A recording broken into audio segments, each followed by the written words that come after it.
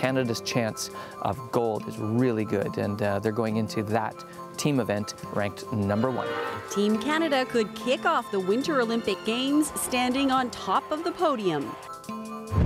I knew that uh, if he couldn't live, maybe somebody else could. How a family turned their loss into a life giving gift.